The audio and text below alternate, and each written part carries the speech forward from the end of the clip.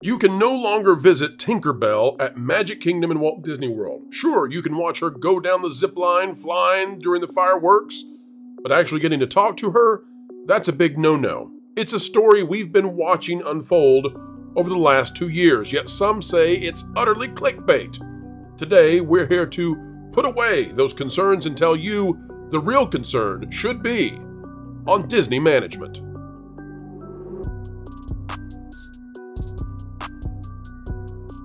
Hello, folks. Welcome back to the Pro Channel, coming to you live from a studio in somewhere sunny USA. We're happy to have you come our way today. Please click the like button as we get ready to dive into today's topic, which is poor little Tinkerbell, the pixie dust fairy, who is iconic to Disney and its story, its legacy indeed, and yet a group you may never have heard of, the Story Matters Group. At the Walt Disney Company, they have deemed her problematic. And as a result, things are happening. Folks, we'll share it with you. Let's bring the panel on right now. This comes to us from the New uh. York Times, and this is a very old article, but I'm going to explain why we're reading it in just a moment. This is the New York Times, and it says Disney built on fairy tales and fantasy confronts the real world. The entertainment behemoth spent decades avoiding even the whiff, the whiff, said Stewie, of controversy, but it has increasingly been drawn into the partisan political fray. This one's by Brooks Barnes. There's, there's a lot of fun in. Here. They didn't oh. want to do it; they were drawn in. I see. this is a this is a very fun, very fun article, Lou. You're going to love parts of this because we can go back and look at it in hindsight and find the humor sincerely. But let me show you this. Uh, and folks, as we do, let me say the reason we're going here for our very first story is there's been some pushback. Some folks out there have said that the Tinkerbell story really isn't a real thing. You know, it's clickbait in that, uh, you know, Tinkerbell will be back. This is just a normal cast, you know, change on uh, at Disney World and all of that. Let's mm-hmm. find out though. This, by the way, we need to say this is all the way back from June 22nd of 2023. That's the update. But originally, folks, if you take a look at this, it was published all the way back April 17th, 2022. Now, what do we know what was happening? Bob Chapek was under fire.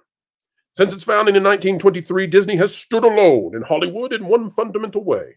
Its family friendly movies, television shows, and theme park rides, at least in theory, have always been aimed at everybody, with potential political and cultural pitfalls zealously avoided. The Disney brand is about wishing on stars and finding true love and living happily ever after. In case the fairy tale castles are too subtle, Disney theme parks outright promise an escape from reality with welcome signs that read, Here you leave today and enter the world of yesterday, tomorrow, and fantasy. Lately, however, real world ugliness has been creeping into the Magic Kingdom. In this hyper partisan moment, both sides of the political divide have been pounding on Disney, endangering one of the world's best known brands, one that for many symbolizes America itself as it tries to navigate a rapidly changing entertainment industry. Now, this is largely a feel good piece for Disney, and that's what the New York Times is up to. We know what the New York Times is, we know what they're always sort of shading towards, right? Let's go down though, folks. Let's go, let's go, let's go, and let's hope that this held. Oh no, we're gonna have to search. Hang on, folks. It's lost it. Here we go. There we go. I got it. Tinkerbell. This is what we want. Remember that this is back from 2022. And remember that I have been covering the Stories Matter group, which is, by the way, we believe a subset of Reimagine Tomorrow for a very long time. So I want to read this to you. Well, actually, you know, we're going to go up here. This is this is amazing. This this here we go. You just got to see this. As Disney prepared to introduce its streaming service in 2019, uh, it began an extensive review of its film library. As part of the initiative called Stories Matter, Disney added disclaimers to content that the company determined included negative depictions or mistreatment of people or cultures. Examples included episodes of The Muppet Show. Oh, Jim Henson, you are a loud and raucous person. From the 1970s and the 1941 version of Dumbo. These stereotypes were wrong then and are wrong now, the disclaimers hmm. read. The Story Matters team privately flagged other characters as potentially problematic, with the findings distributed to senior Disney leaders, according to two current Disney executives who spoke on the condition of anonymity to discuss confidential information. Ursula, the villainous sea witch from Little Mermaid, was one. Her dark color palette could be viewed, viewed through a racial lens. The Story Matters team cautioned. She is also a queer no with mannerisms inspired in part by those of a real life queen. And here's where we get to it, folks. This is why it's not clickbait. This is why the Tinkerbell disappearing from meet and greets matters because if you don't call them out now, they'll not stop, and as soon it'll be all changed. You got to call it back to get the backlash going. Tinkerbell was marked for caution. Remember, folks, 2022, the New York Times. Tinkerbell was marked for caution because she is body conscious. Oh my, she's body conscious. She cares about what she looks like. She she watches her figure and jealous of Peter Pan's attention. Uh, the execs. Lou, take it away. Isn't there some character in all of this that looks in a mirror a lot? A mirror, mirror, mirror on the wall. Who is the evil queen tallest of tall. And the mirror tells her that Rachel Zegler is way more beautiful than her. That's how it goes nowadays. Spencer, watch your pronouns. You're you're making assumptions here, Spencer. Remember, I, I, I, truly am. I need to wait for the characters to come out in the trailer. That's right. are, are we talking line. about the X Men? well, we could be. Well, we will be later. Oh, no, but, uh, I mean now. Ron, talk. Ron, talk about the uh, the parks though for a minute. Tinkerbell. Uh, she's no longer available for a meet and greet. Since 2022, the Stories Matter group has labeled her as problematic. You see the insanity, the reasons why. They're the same group going around labeling all of the legacy Disney content as flawed and problematic. So, Ron, walk us through. Uh, did you ever find that, families left the Tinkerbell Pixie Dust meetup and that they were okay. appalled? Did little did little heavy set girls with extra girth did they did they wallow in their tears outside the uh, Rapunzel restrooms? What was happening, Ron? First of all, that's never happened ever. um, the I, I, do know that the Tinkerbell meet and greet has been shuttered since uh, COVID, actually, since before since um, since Park shut down. They never brought Tinkerbell back uh, for the meet and greet for some reason at that point. But what I will tell you um, is I spent a lot of time as a cast member, and I mean Tinkerbell is probably maybe the most popular uh, right. outfit right. that little girls are wearing. Um, they love it. They sell the she's, Tinkerbell wings. She's merchandising gold on.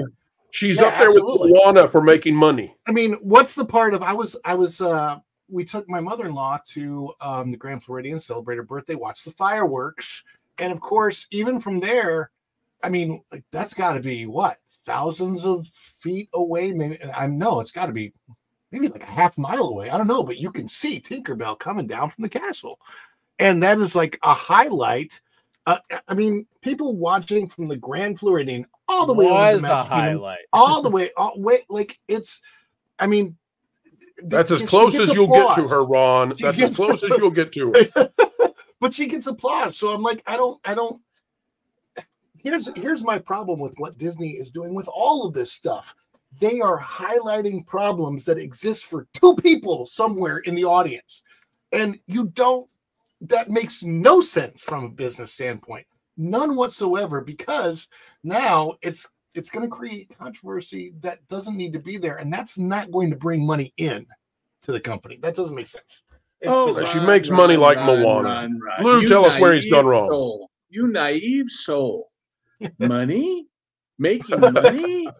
you mean like those capitalist people? Since when? Oh my when God! How yeah, right. The park's a co-op now. I forgot. That's yeah, right, that's Nick. Right. And, Nick, would you support a, uh, a, some sort of apparel, a line of merchandise that says "Make Tinkerbell up close again"? Would you support that? Uh, absolutely, I would support it. I, I don't want to put you in a very awkward spot, but that's an awkward thing to have to say yes or no to. But uh, no. up close and personal with the fairy that captured your hearts. Yeah. Nick, how did this? Nick, how did this go for uh, Star Wars when they did all this nonsense? So we can predict and project what will happen with Disney proper. How did this go? It, it did not go well at all. And the fact that they're doing this once again here, they've already did it with Splash Mountain, you know, which was based off a Song of the South.